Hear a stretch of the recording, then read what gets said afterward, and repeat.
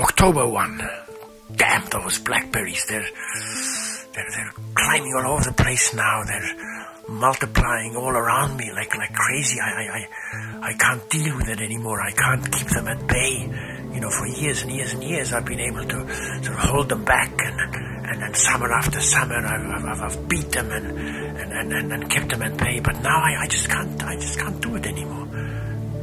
sudden I feel that I'm, I'm losing this lifelong battle that I've had with those blackberries that, that, that, that ultimately they're, over the next few years, they're destined to win.